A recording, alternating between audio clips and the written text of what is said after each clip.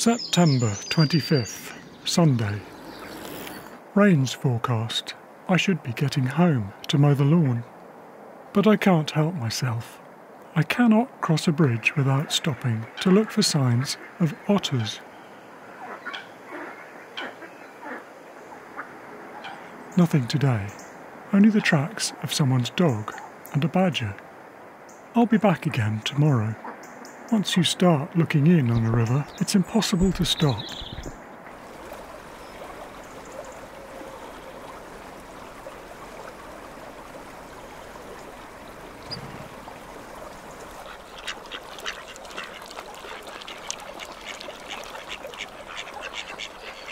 It wasn't just an obsession with otters that led to this film. I grew up by a river, and my first attempts at wildlife filming were done there using my father's home cine camera. My father loved and campaigned to restore the health of the river. After he died, I thought, how can I pick up where he left off? He was a doctor and was aware, perhaps more than anyone, how important clean water is for life to exist. How we have to take the time to look at what's going on beneath the surface.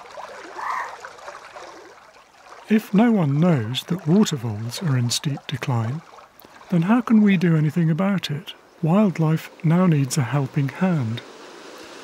I'm a cameraman. The best thing I can do is show what we stand to lose.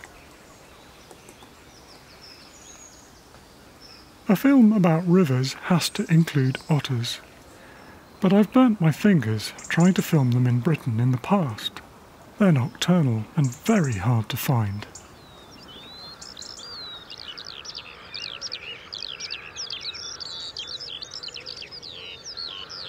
July 29th. I'm following up a tip off about an otter sighting. It's one thing to see an otter, quite another to film it.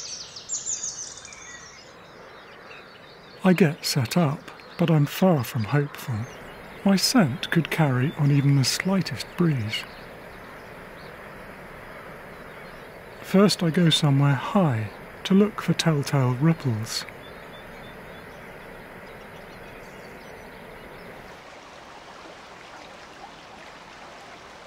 A little egret flushing out fish with its feet is a good sign. There'll be food here for otters too. Then, out of the corner of my eye, I see, I can hardly believe it, an otter just beyond the rocks.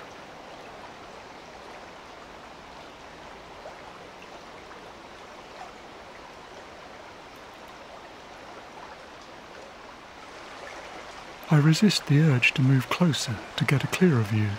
Otters are a bit short sighted, but they have an incredible sense of smell.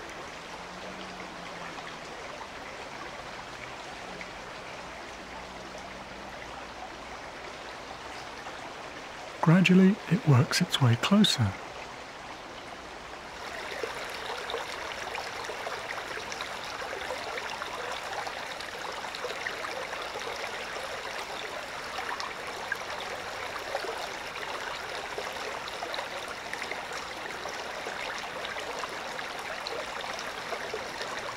then it's gone.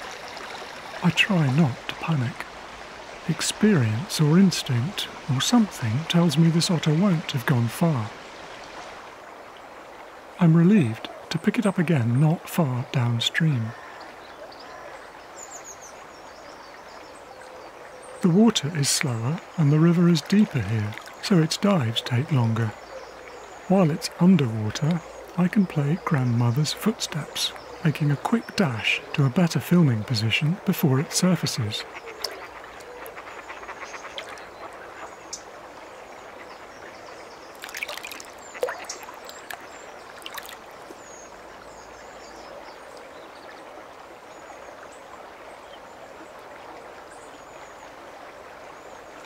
Judging by this otter's large size and bold features, it's a male.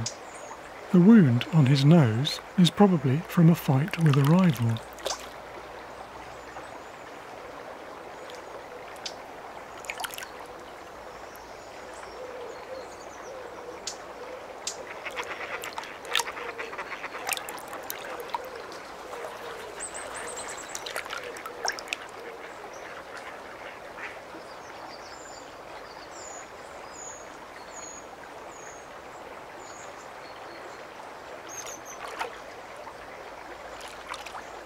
Fish, is using every part of his body to maneuver underwater. Sliding through the thick weed gives him the element of surprise. In murky water and in the dark, an otter can sense and ambush fish just by using its whiskers.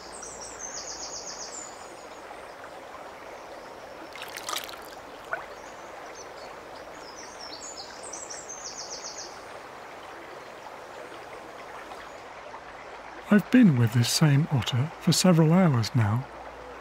I never imagined it was even remotely possible to keep track of a wild otter in a river for this long. Over the next few days, my luck holds. On a different stretch of water, where the river is slow and at its deepest, I find the same otter again.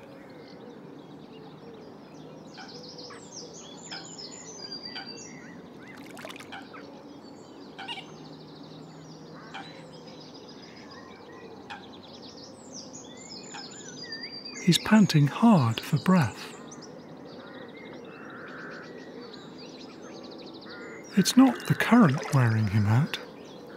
When diving deep, it's his own buoyancy that he has to fight against.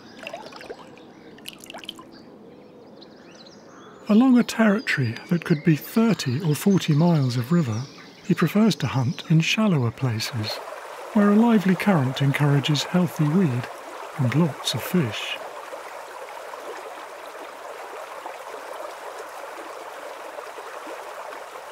Ducks like it too. Otters like eating ducks, but here it's just too shallow for an otter to catch them from below. Even so, the ducks keep their distance.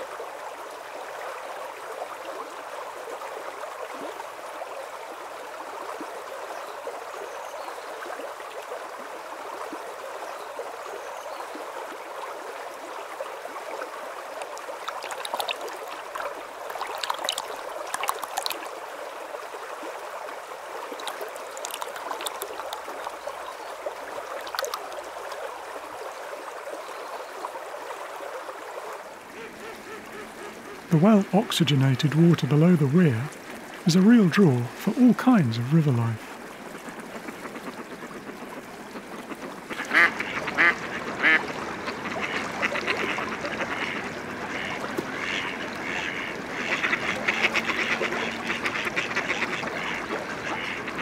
I learn that if the ducks are out of the deep water, an otter could be nearby.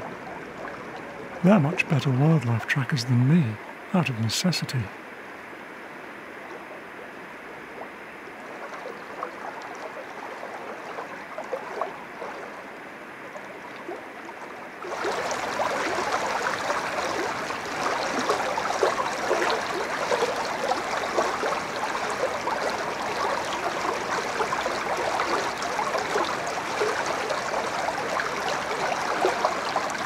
I'm struck by this otter's constant search for food. He never seems to stop to rest. The weir is a place that crayfish thrive, and I'm sure it's this and not fish that he's mostly eating. Crayfish are not as nutritious as fish, and maybe explains why he has to hunt out so many of them.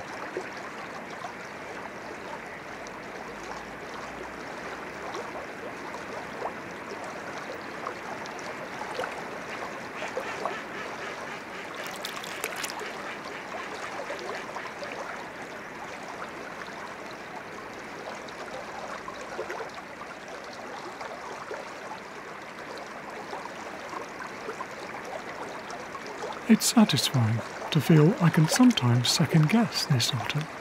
Perhaps he's starting to get used to me, accepts that all I do is keep still and watch him.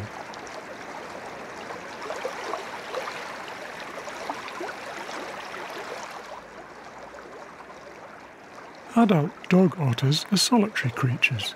I can relate to that, but he even shakes me off. It's the last I see of him for a while.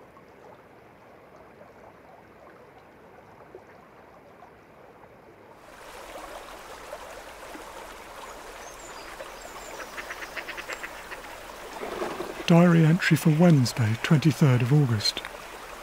No wind, poor light, but a very good day.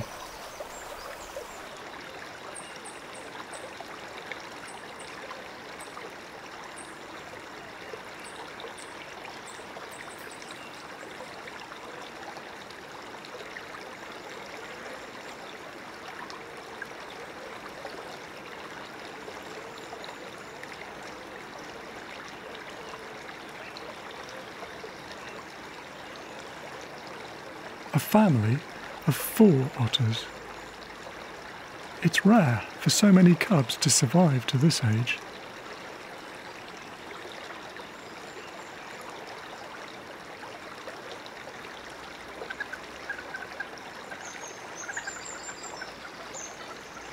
The one seeing off the moorhen is an adult female.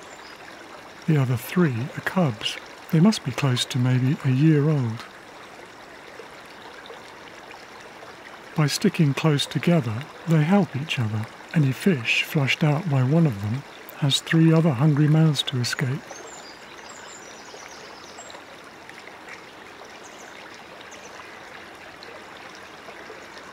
The chances are these cubs were fathered by the dog otter I've been filming, but he won't be joining them. Male otters don't have anything to do with cub rearing.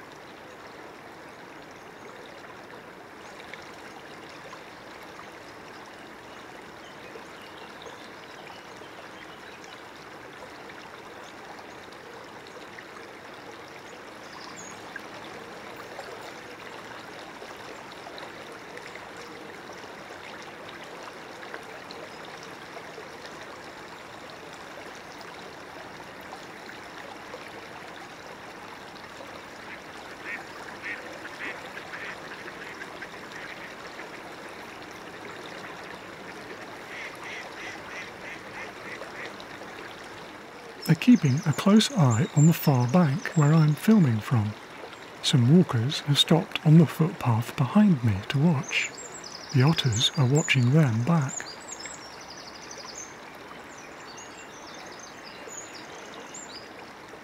They don't seem concerned.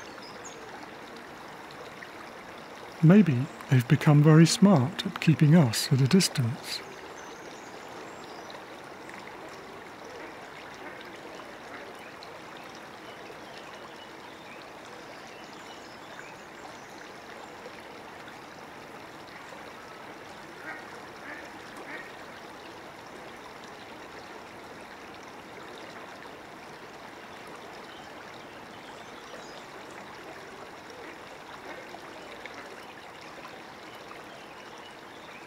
They disappear up the bank of a quiet island that divides the river into two and where nobody goes.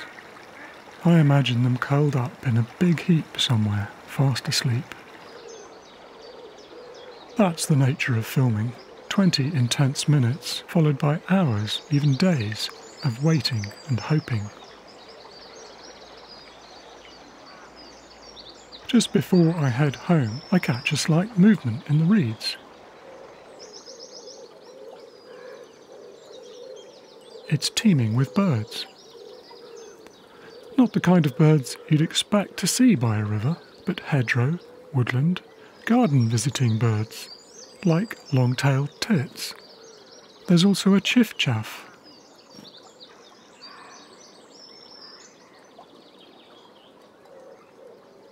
When I look a bit closer, I realise they're gorging themselves on aphids.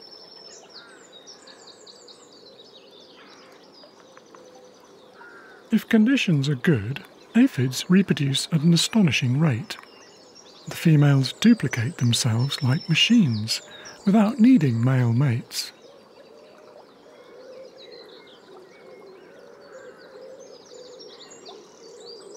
It's been a long, dry summer, but here the river keeps the sap flowing. As the aphids tap into the sap, the birds tap into them.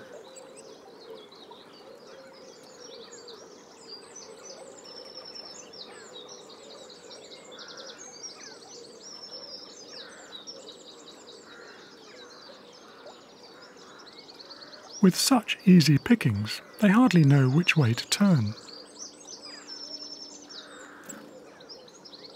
In a few weeks' time, the willow warbler will be making a long journey back to Africa for the winter. this will help it get fit. I wouldn't have spotted the aphids if it hadn't been for the otters. I like it when one thing leads to another. Rivers are like that, always leading you on, and once they've got you hooked, they don't let go. Six months later, I'm exploring a quiet chalk stream in the hope of finding what was my father's favourite bird. Diary entry March 24th. Camping. Found lovely kingfisher site, S I T E. V. Dot pleased. It's a male. The nest is at the end of a tunnel, dug high up in the bank, hidden by ivy.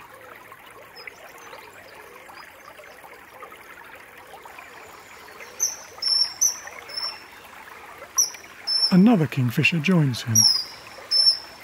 She's on the right. I know she's a female because the lower half of her beak is red. Seeing them together near the nest is exciting. Kingfishers are mostly solitary creatures. They wouldn't pair up unless they really meant business.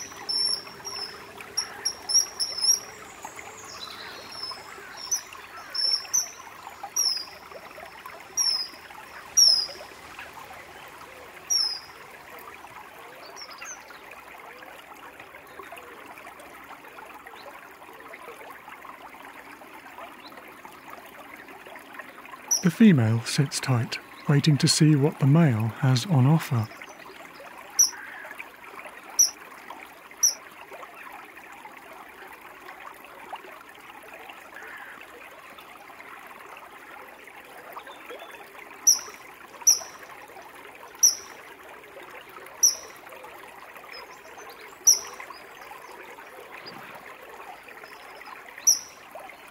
The male's brought a stickleback, I love it that she doesn't even take the slightest step towards him. She makes sure it's dead, then swallows it head first so the spines don't catch in her throat.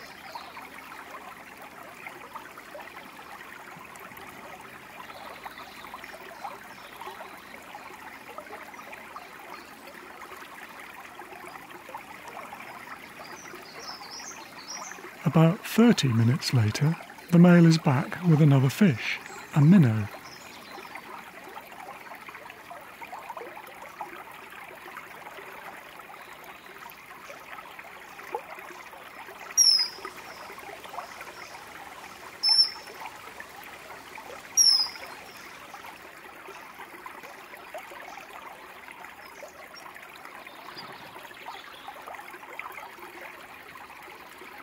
Feeding the female is a sure sign that they're going to breed.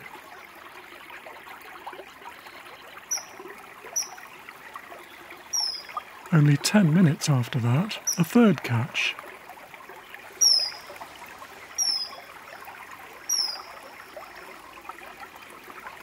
The male is showing her he's got a good supply of fish and that he knows how to catch them. And then the exciting prospect of having a whole family to film in due course.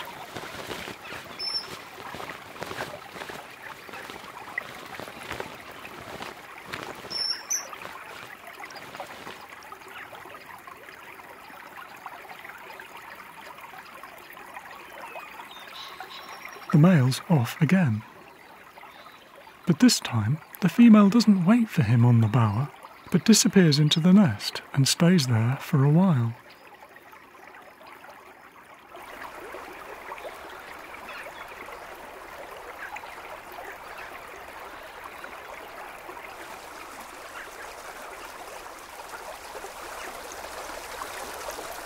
After 30 minutes, the male returns with his fourth fish.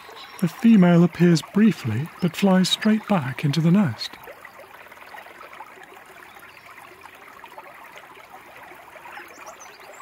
The male waits patiently for five or six minutes.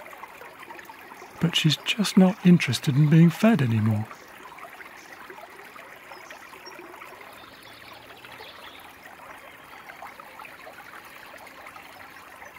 I thought maybe he'd eat the fish, but eventually he flies off with it. If the male comes back to take a turn in the nest, I'll know they've started incubating their eggs. While I'm waiting, there's other activity in the hazel tree.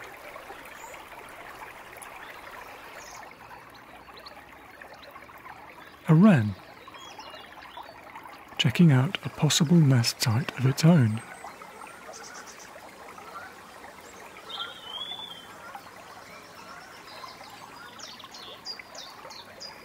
It's right to be worried about the squirrel, though its nest looks safer than the crumbly earth bank the kingfishers are using.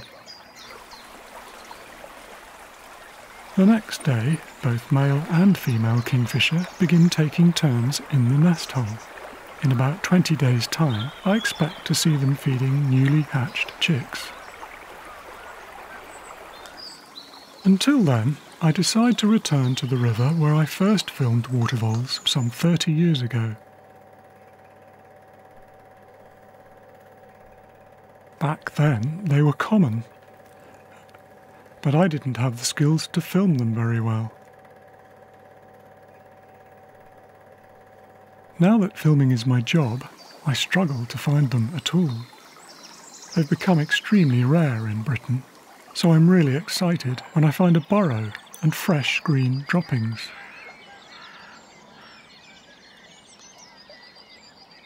Ripples from under the bank make my heart race.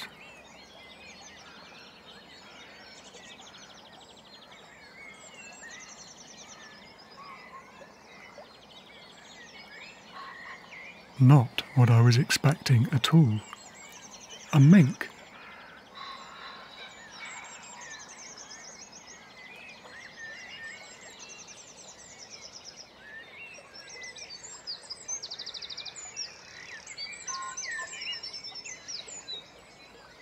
It's hunting the water voles and could wipe all of them out in this area. They're so bad for water voles because the females are small enough to squeeze into the voles' burrows.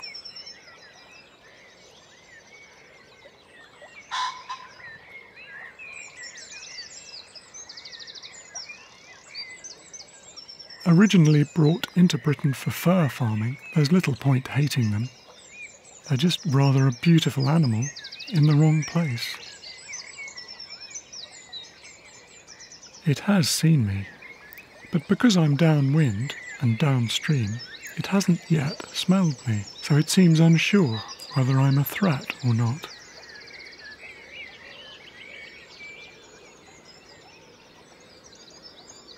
While it's trying to find a way past me, I notice that it floats higher in the water than an otter.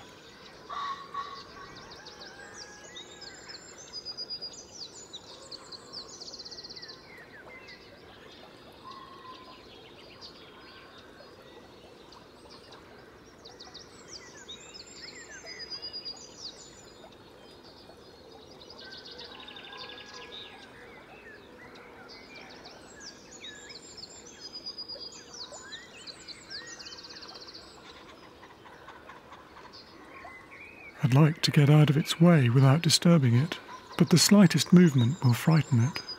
It'll find a way around by another route.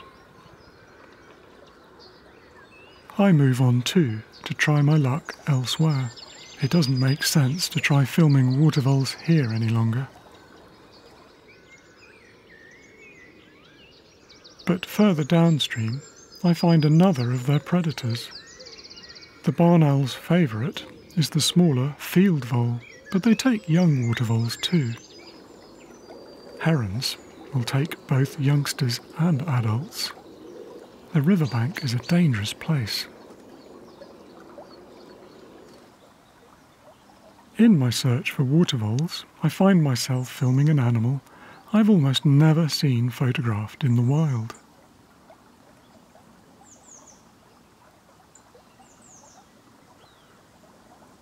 a water shrew. Bigger than a common shrew, but still tiny, hardly the length of my thumb. But it's a major predator. It has venom in its saliva. It's a bit like a miniature otter in a way, and like an otter, it has special adaptations for life in the water. It can close its ears, has bristles on its tail and hind feet to help it paddle. And like the otter, it has long whiskers to home in on food in the dark and in the mud of a stream bed. Watching a water shrew in the wild like this is probably a once in a lifetime experience.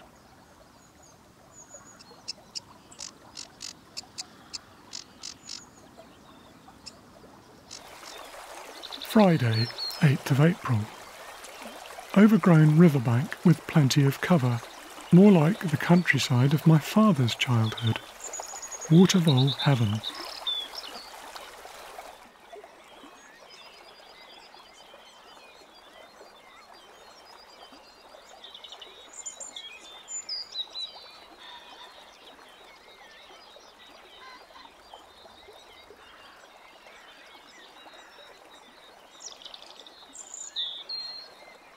Water voles don't hibernate, but they tend to stay underground in winter and begin to emerge again as the weather warms up.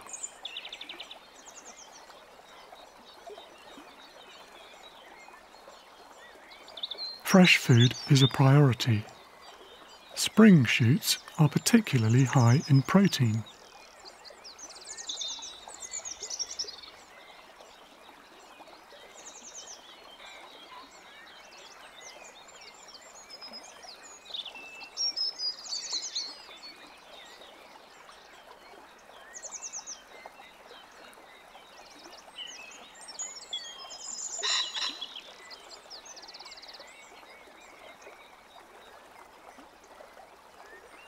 It's risky leaving the hole. The bare riverbank leaves it exposed.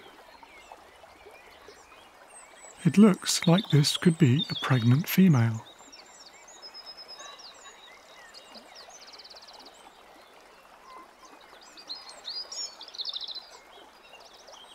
Like Ratty in Wind in the Willows, she gathers food to be eaten in the safety of her own home.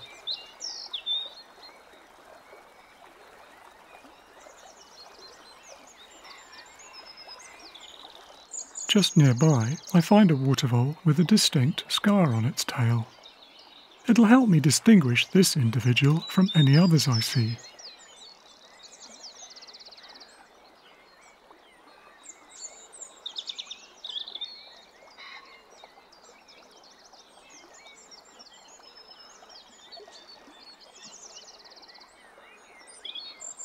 It's the breeding season, and this water vole is high on hormones.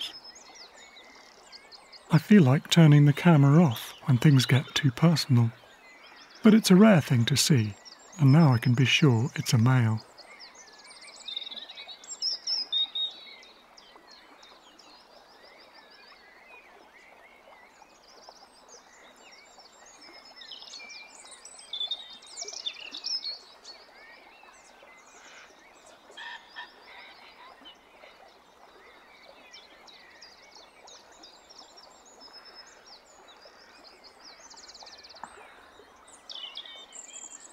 What looks like scratching for fleas isn't at all. He's spreading oil from flank glands onto his feet so that he'll have a personalised scent trail wherever he goes.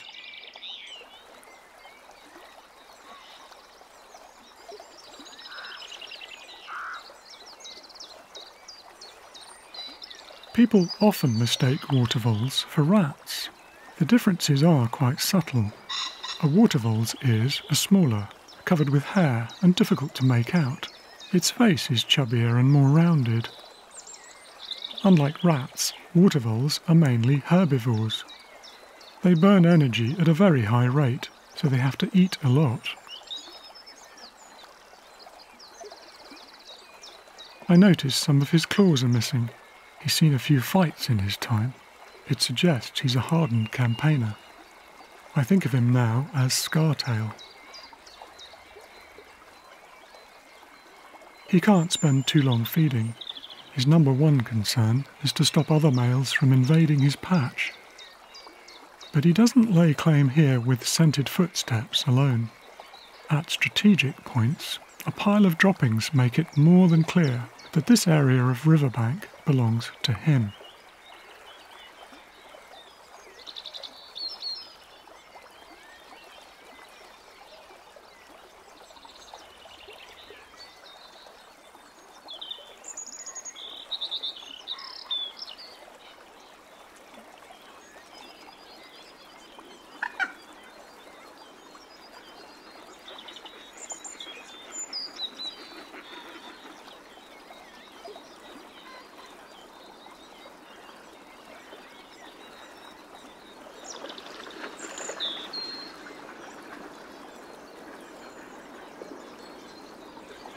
Scartail puts extra effort into certain spots, building a mound.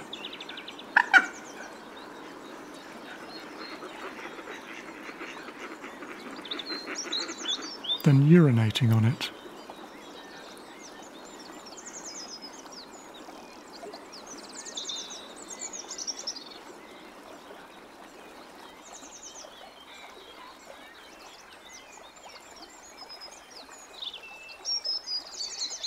I gradually learn he has a regular circuit. If stream levels rise, his scent will be washed away, so he does the rounds even more frequently during spells of wet weather.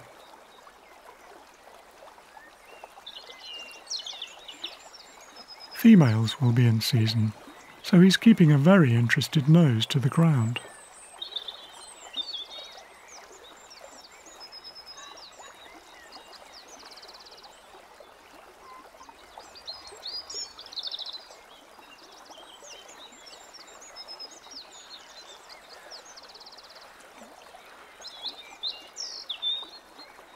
It's vital he gathers information about all his neighbours. It's like reading a village notice board.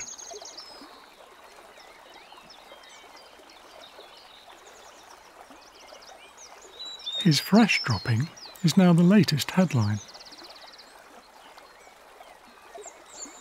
Time to patrol the other side of the river.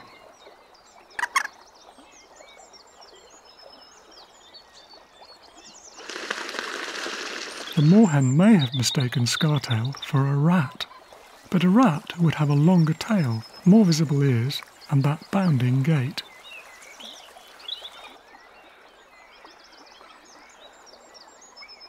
Scartail arrives upstream, just to my right. Straight away, he picks up a foreign scent of this female. She's already pregnant, so she avoids him. They play cat and mouse. He hunts. She hides.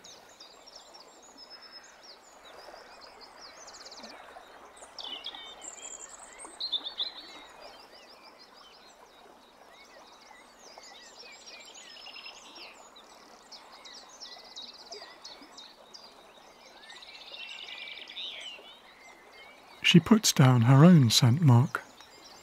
Not so much for Scartail, more to tell other females to keep out, that she has a claim here.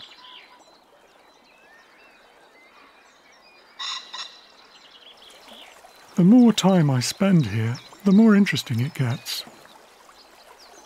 I've got to know a third water vole. He lives downstream to the left of where I film from, and he has an uncanny knack of knowing when it's safe to go trespassing.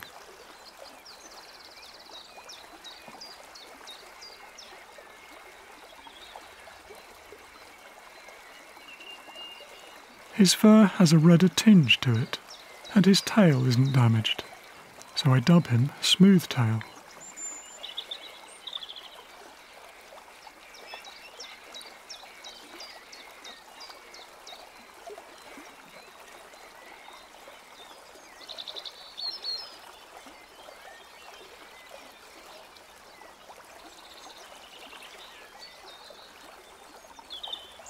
Smoothtail overwrites Scartail's scent with his own, in the same places, in the same way.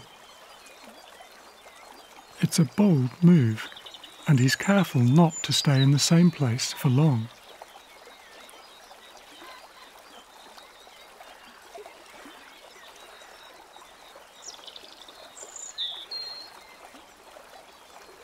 playing dead in front of this mother duck is a wise tactic. If she were to mistake him for a rat, she could do him some serious damage.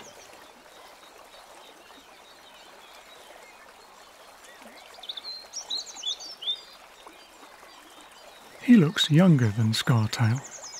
His claws are all intact. He's not beaten up. After each secret incursion, he drifts home on the current. If he ever needs an emergency exit, the current will work in his favour.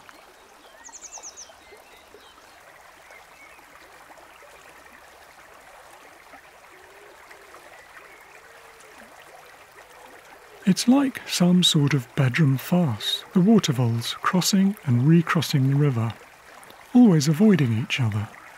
It's hard to work out what's going on.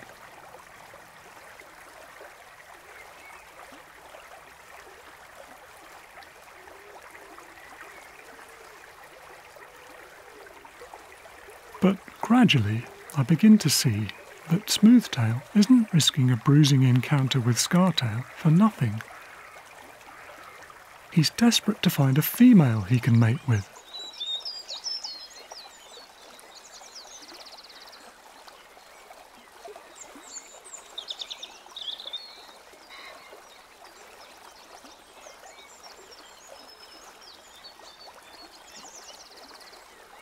He's her scent now. She appears suddenly. He chases her into the water. She dives to get away. Scartail spots this from the other bank and crosses back over in hot pursuit.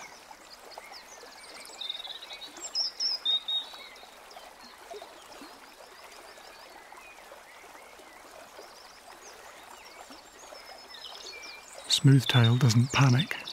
He knows places he can hide.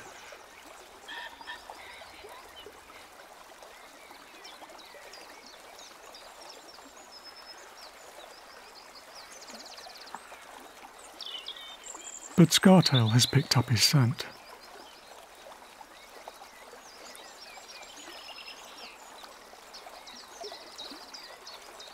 Now he's really onto him.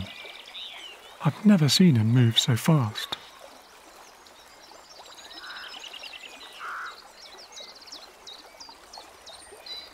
It doesn't take him long to flush the younger male out.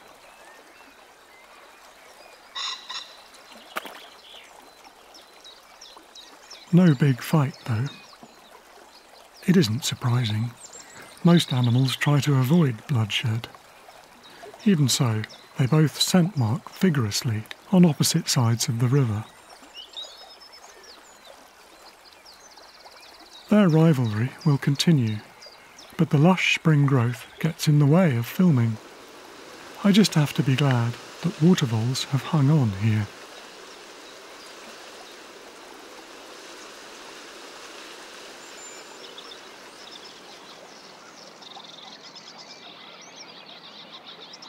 Diary entry for Wednesday, 25th of April, Port Meadow. Long hours waiting for the great crested grebes to do something.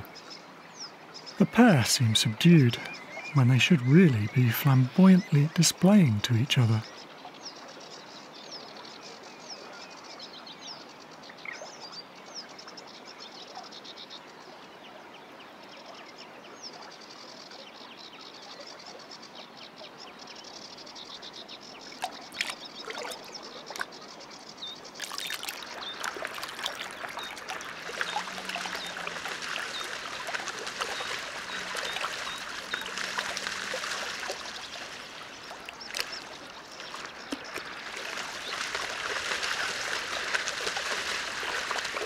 Feathers are so well adapted to staying dry that it's quite a struggle for them to wash.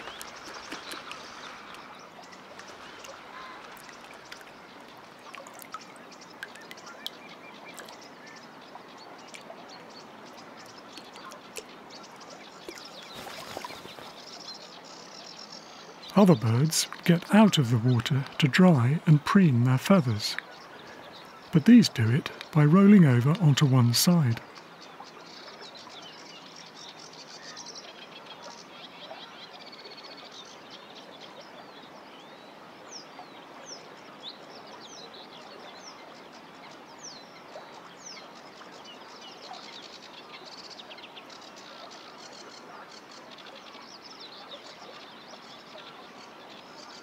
Feathers that come loose are often eaten to help digest their food.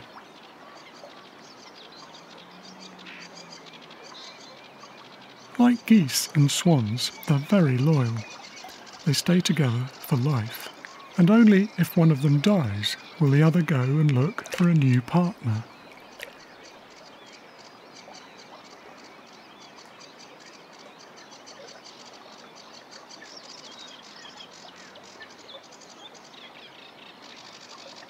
Last, a first attempt at courtship. Even though it's half hearted and brief, it's just enough to stop me from giving up.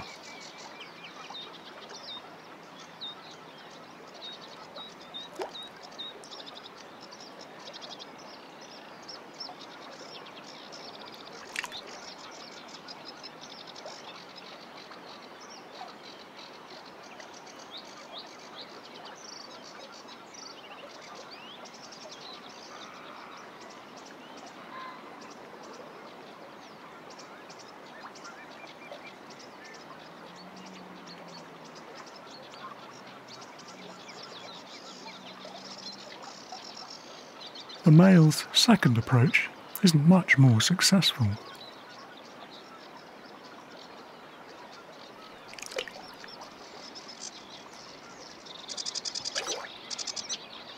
I return a few days later to find the male very busy.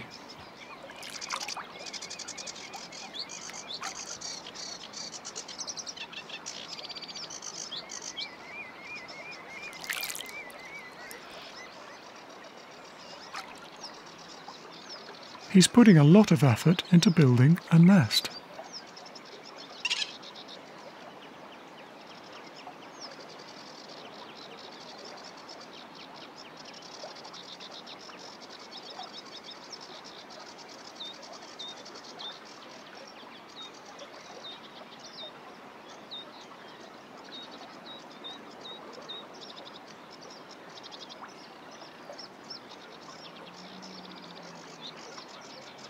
Female isn't having any part of it.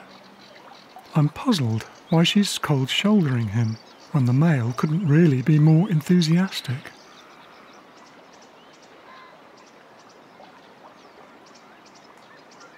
If they're to mate successfully this year, she really should be helping him.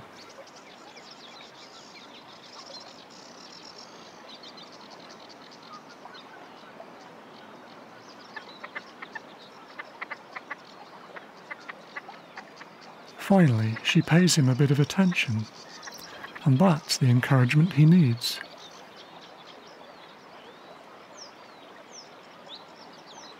Just as she's close by and watching, the male displays to her from on the nest.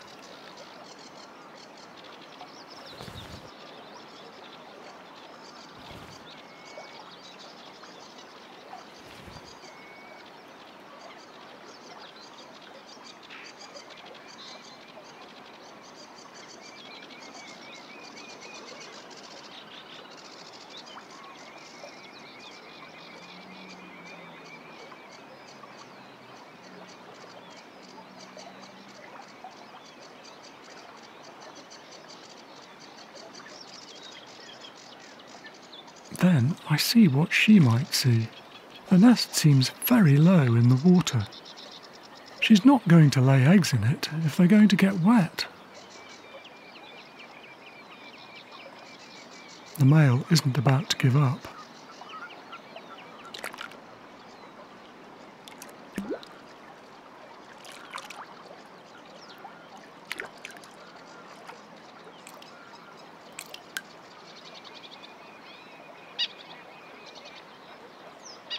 Perhaps some lily pads will impress her.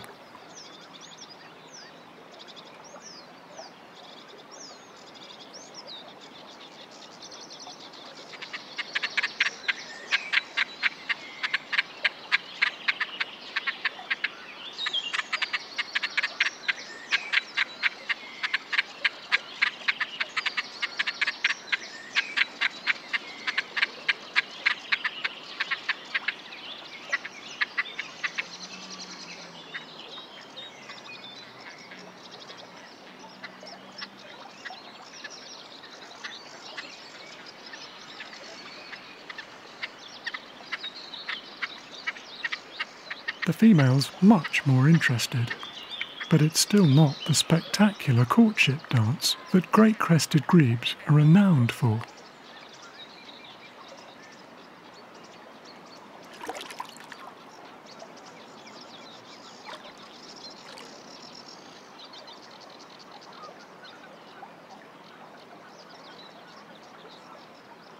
The male displays from the nest again,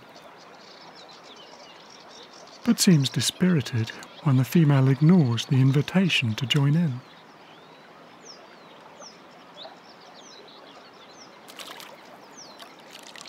The nest is still barely clear of the water.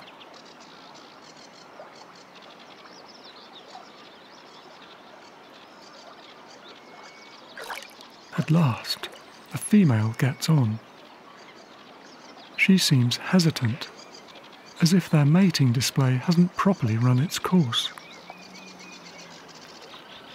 The male carries on regardless.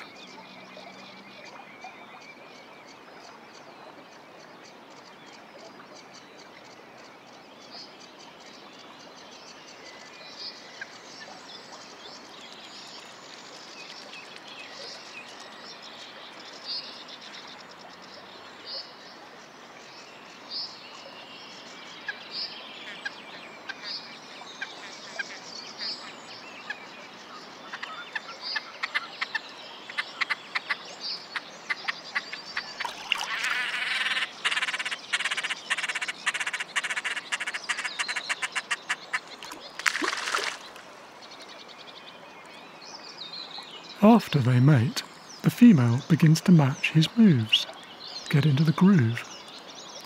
Her head tilting isn't her looking up in the sky at something, it's all part of the ritual.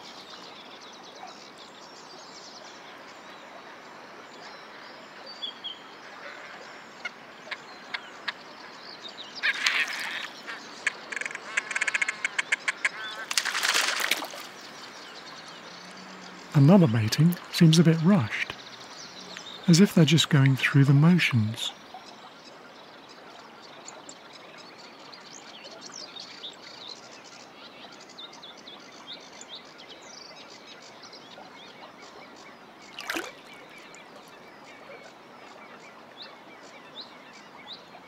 The third attempt is a total bungle.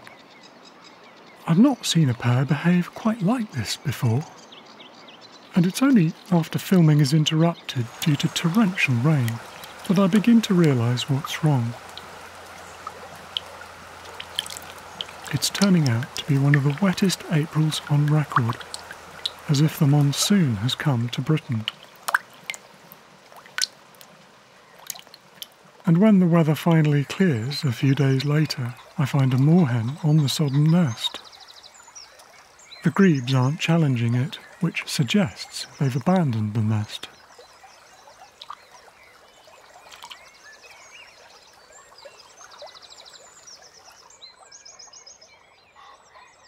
The female is nowhere to be seen. It's as if she knew all along there was trouble ahead. Even for these consummate waterbirds, the constantly rising river proves too much.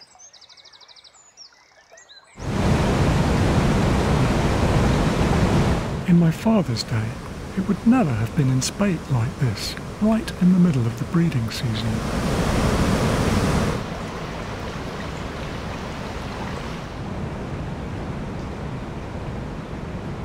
In places where the riverbank has more height, the water voles can move into burrows higher up. But they can only cope with so much. Elsewhere, where the landscape is flat, they've nowhere to hide. It's just one more blow to their survival.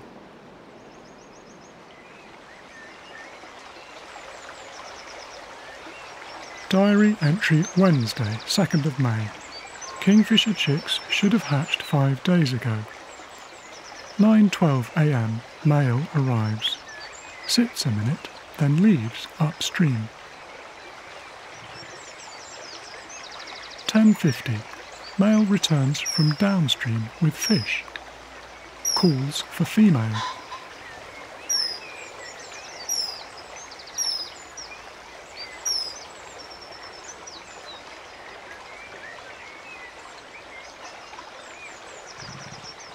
Leaves downstream.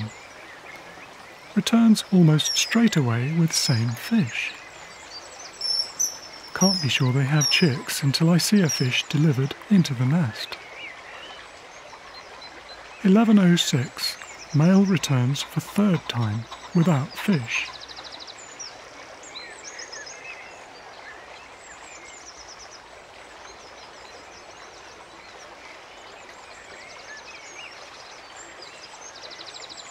Looks like he's on his own. I'm really worried now.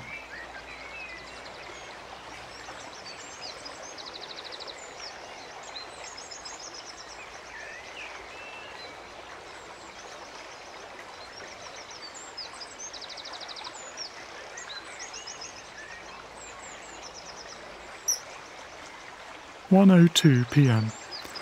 I leave for a break. My feet in the water have lost all feeling. 5.30, female finally shows. But she disappears when a tractor comes to mow the field. Light poor, so I leave. Their nest has failed. Who knows? Maybe a mink or a stoat raided it. I'll never really know for sure. It's hard enough for these birds, even without the seasons seesawing around you. Back on the main river, in willows damaged by flooding, I'm luckier. Something seldom seen, and possibly never filmed before.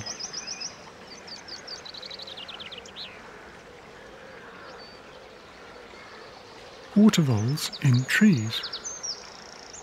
It's certainly a first for me.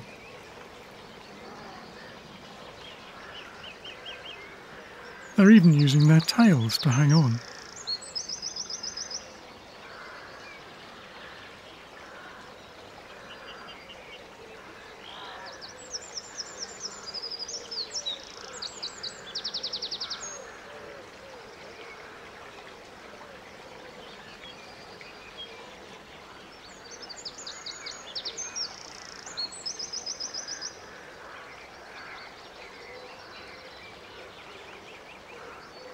On the sturdier branches, they carry on scent marking, just as they would down on the riverbank. Checking to see who else is about, it's business as usual, even though they're two or three metres up. Sometimes it's obvious they're just not cut out for life in the trees. At other times, they seem quite happy to take risks.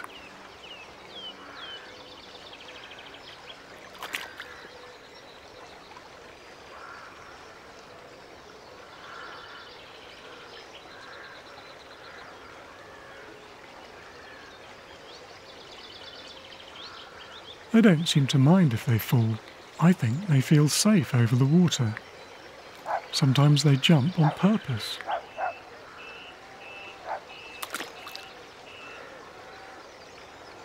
They remind me a little of beavers, gnawing through bigger branches to get at shoots they can't otherwise reach.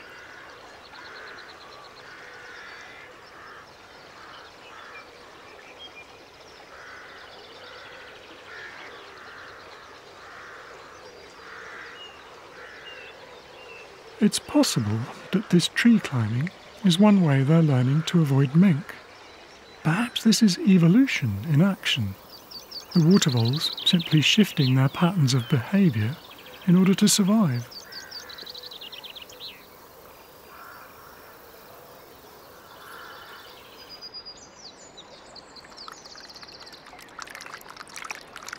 The mallards have done well this spring in spite of the flood. Their large brood isn't tied to a nest, and the young can feed themselves. This helps cushion them against unpredictable summers.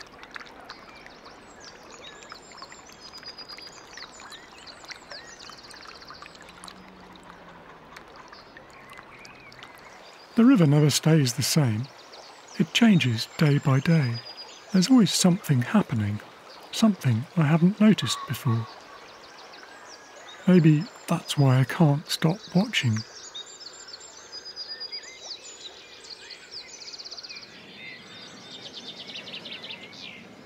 Diary entry 19th of June, camping.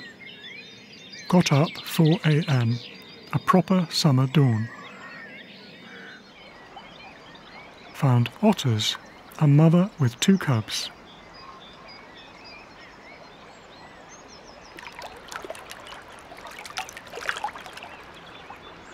At last, I get to film otters eating something that's big enough to identify. It's one of their most unusual meals. This youngster is eating what seems to be a rook. I can only guess at how they caught it. Otters sometimes hunt out in fields and woods, not just on water. That's the mother she makes what she can of one of the wings. They don't often catch birds. It shows what good opportunists otters are. They don't waste a scrap. A few minutes later, there's only the beak left.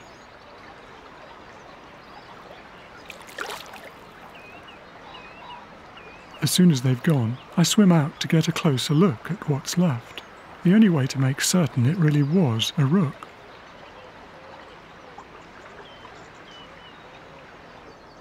The next day, I come across the same family with a more conventional meal.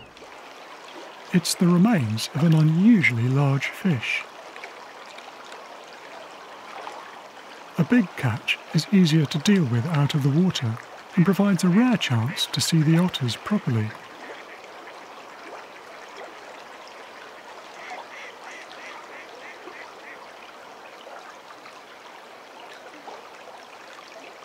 It's hard to tell what it is, but there aren't many British rivers healthy enough for fish this big to survive.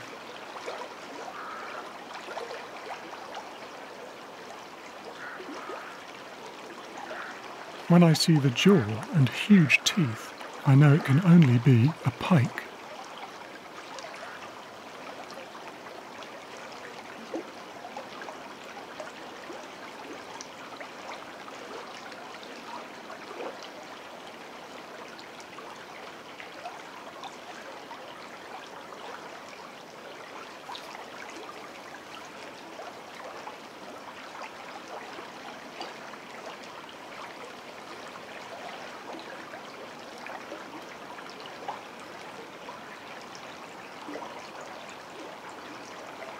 There's not much left. The mother leaves them to it, goes off to catch something else.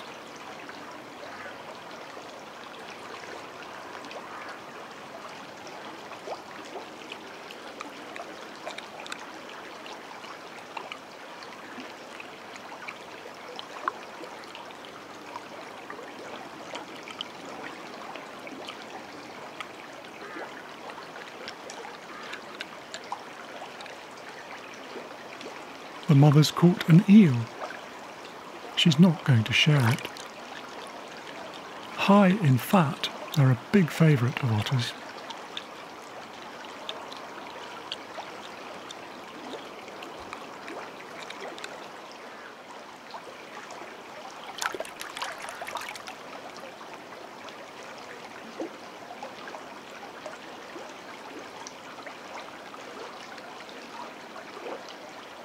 The others are full. The older cub's so greedy he nearly chokes on a bone.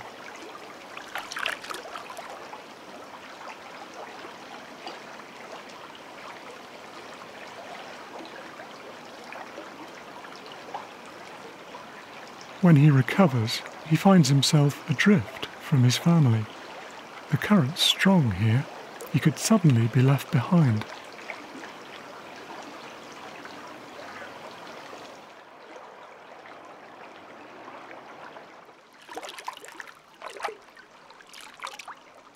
All safely together again, the last time I see them.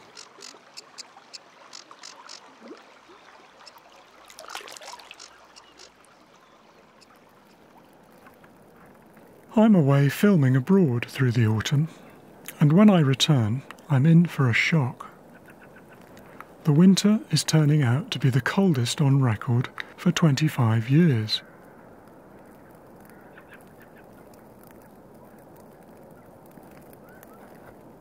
Heavy snowfall changes everything. It's as if you've gone somewhere new. In fact, I can't go anywhere. I'm snowed in. It's mid December. I'm stuck at home, unable to reach the river to look for the otters. Small cubs could be emerging from their holts now.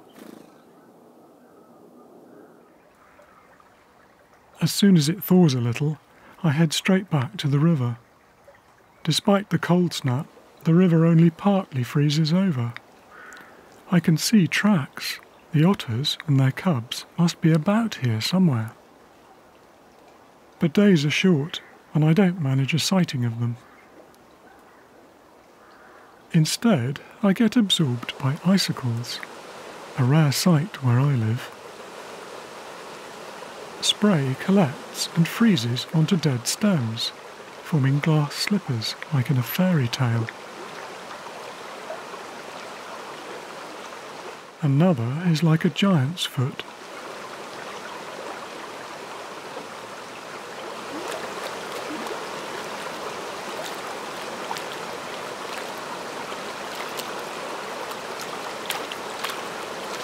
In reality, though, it must be harsh for the poor water voles, huddled up together inside their burrows. I wonder whether ice sculptures keep leaves fresh enough for the survivors to eat if they make it through the winter.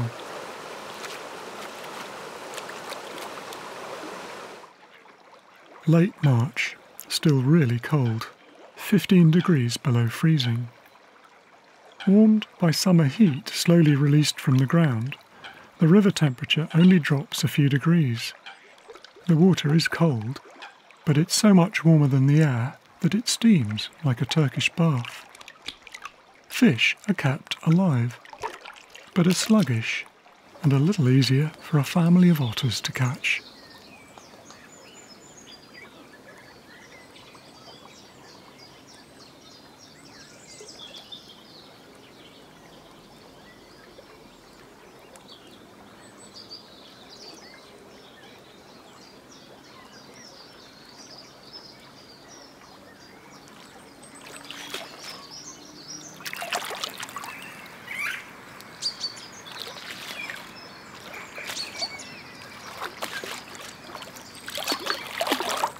The mother's made a prize catch, a big eel.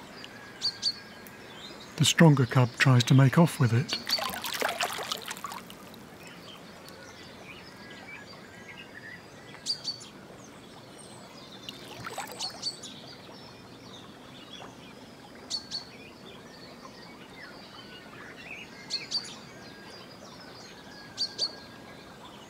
Eels are tough creatures. They can breathe air and stay alive out of the water for some time. This cub is only just managing to restrain it.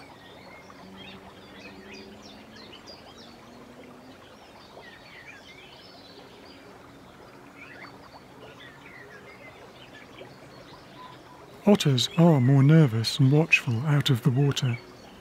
At night, a badger might try and steal the meal like this.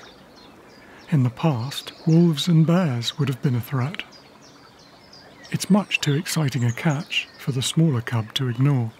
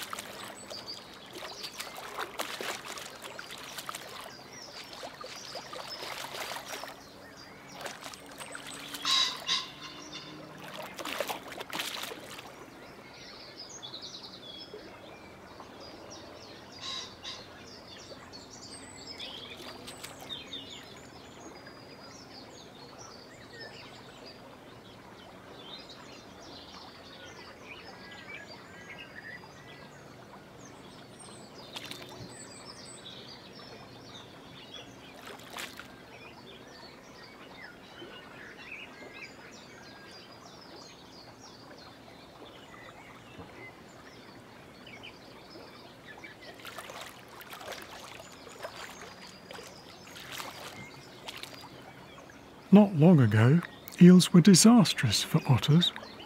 They had a high build-up of a farm chemical in their fat cells that made male otters sterile, and otters nearly died out. I remember my father testing the water in the river near our house. He seemed to know when things weren't right.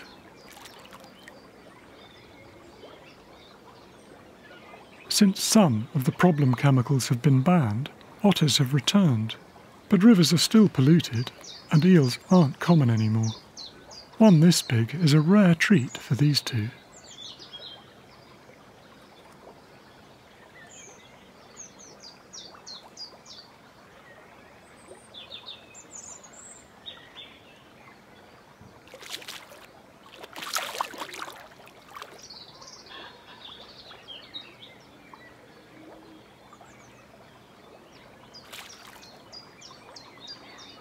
Not much left to fight over. Still, the dominant cub won't let go. The younger cub gives up and goes to join its mother.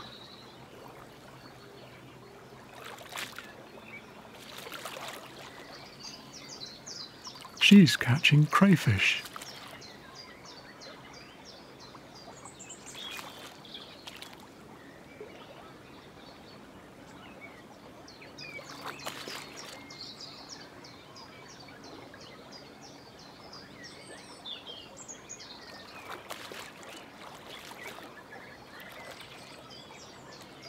These otters eat a lot of crayfish. They're the introduced kind that have almost entirely replaced our smaller native ones. They can't eat them all, but I can't help hoping the otters eating them might restore some balance.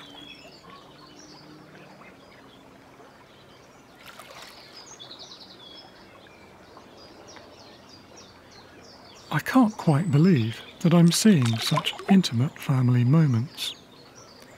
With otter numbers improving, I've been able to conquer my 20 year old problem trying to film them. Although I still mostly only find their droppings, called spraint. They're usually left in obvious strategic places, near bridges, by river junctions, or on mounds. I can't smell the information contained within them the age, sex, and so on, but they do give me an insight into what they're eating. You can see the fish bones in this one. It's always a thrill to find fresh prints. The family will have passed through only last night. I don't always catch up with them, but knowing otters are out there again, that they've recovered from near extinction is enough. My father once told me the wonderful thing about surgery is that people recover. They bounce back, given a bit of careful nursing. He'd have been delighted by the otter's amazing comeback, but not really surprised. Whenever I hear too much bad news, I like to remember his optimism.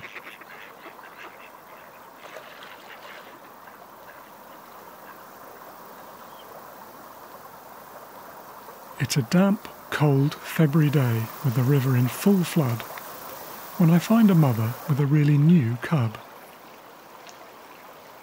It's done well to get this far.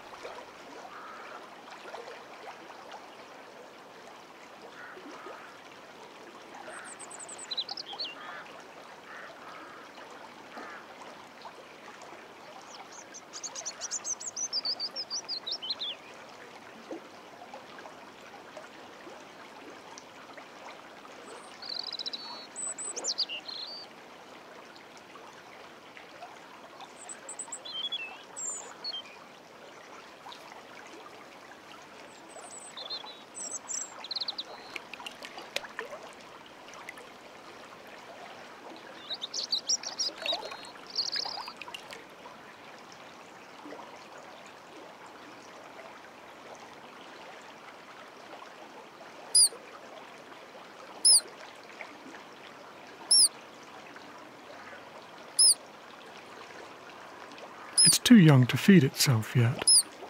Certainly not old enough to go fishing in strong currents.